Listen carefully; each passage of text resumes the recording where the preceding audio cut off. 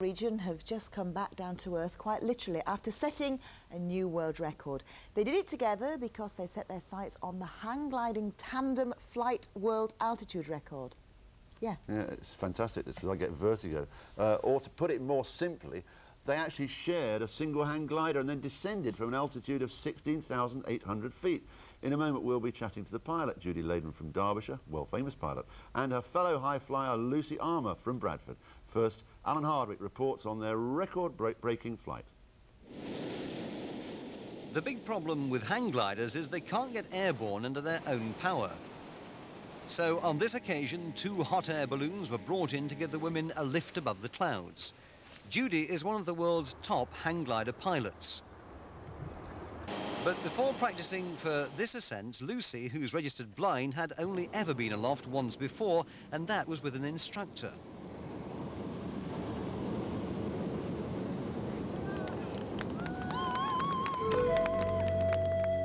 The plan was to hitch a lift with the balloons and then, at a height that put them well above the existing record, the webbing rope that was their temporary lifeline would be cut.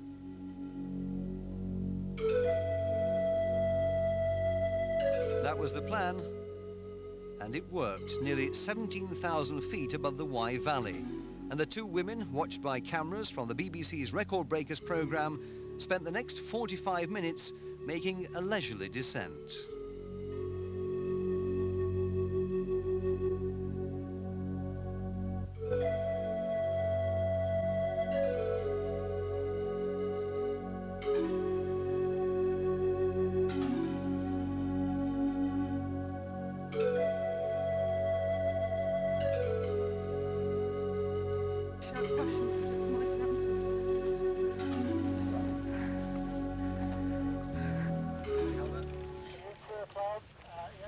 Well, Lucy, you've got more bottle than just about anybody I've ever met. Indeed, she has. Alan Hardwick reporting, and the two record break breakers, Judy Leden and Lucy Armour, have joined us in the studio. Um, first of all, it's a bit surreal, isn't it? A sort of big apple and a big strawberry, 16,800 well, feet in the air. Where did the idea come from?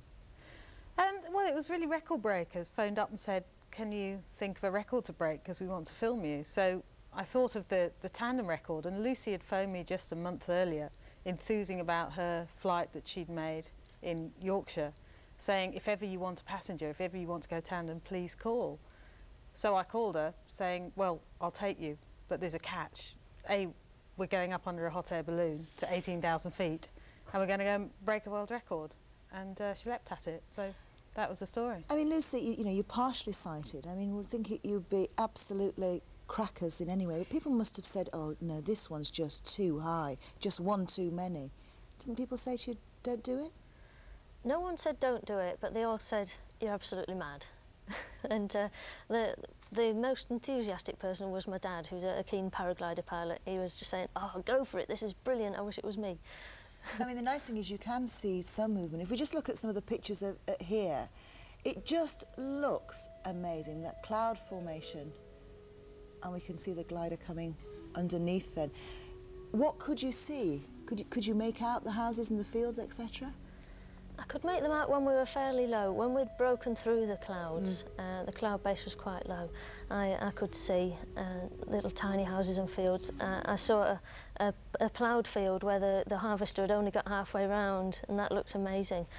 But uh, I could see much less detail than most people, but I could still get the real feel for how high it was. Yeah, yeah. I'm going to say, how does it feel? Because you won't get me up there in a million years. Let, you won't get me 5,000 feet, let alone 18. How does it feel?